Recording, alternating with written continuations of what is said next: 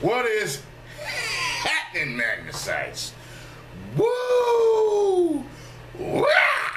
So there is apparently um uh Afghani man, if that's is how y'all actually say it. Um, he is in Afghanistan. Bruce Lee. He looks like Bruce Lee. I was sent this news clip, so let's check this out. Let's react, cause uh, now I want to say I want to preface something. You know, uh, back when Bruce Lee died, there was a ton of imitators that came out. And you know, none of them did it for us like Bruce, of course. You know what I mean? But let's see what this man is doing. Uh, might be kind of fun. You know, it's hard to compare. You know, them to a fallen great. But let's check this shit out. The resemblance is striking. A young Afghan yeah, trains like tirelessly, practicing punches and kung fu kicks in a bombed-out palace in Kabul. His name is Abbas Alizada, but he wants to be known as the Afghan Bruce Lee. I dream to be a champion as Bruce Lee was, and my great ambition is to be a Hollywood star.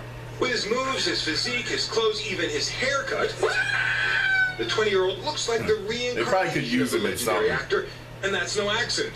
Alizada said he's long idolized Lee, watching action classics like Enter the Dragon over and over, learning to mimic his style.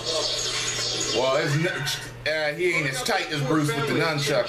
You see that? His parents couldn't afford martial arts school, but seeing promise, a trainer there took him under his wing, and with financial help, now hopes to catapult Alizada to international fame.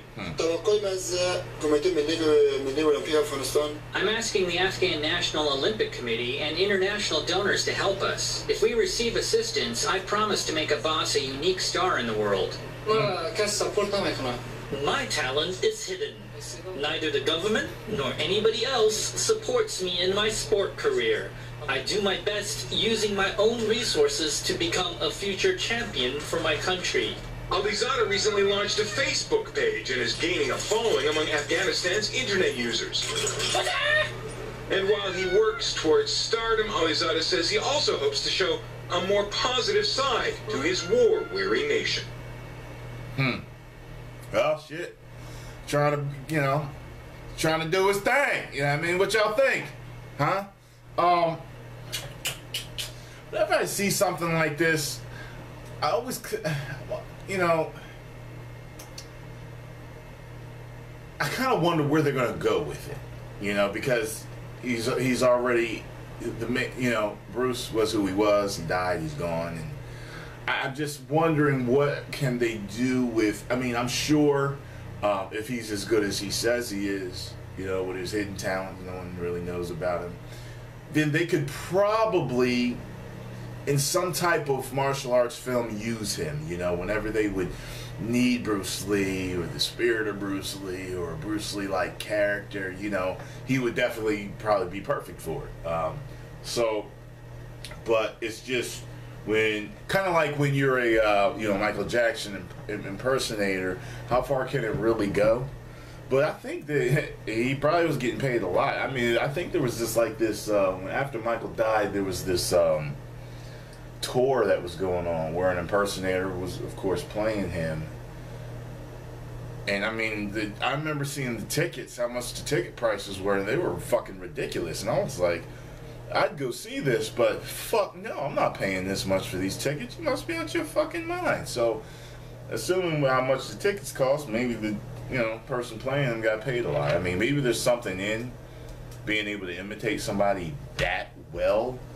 Um, but I, I don't know. I mean, I know you know there's comedians that do impressions and all that stuff, but they don't. I don't know. I. You, you kind of see where my thinking is going here. I don't know if he can really make a super great living. But you never know. The world is a huge place. You know what I'm saying? Maybe not here in America. I might not be able to see it. But, I mean, there's a shit. There's a shit ton of other countries around the world where he might be able to, you know, do his thing. So, who knows? I mean, shit. He's got my blessing for his uh, positive energy, trying to do something with his life. So, hey, why not support the man? 1 million subscribers. Woo! Woo!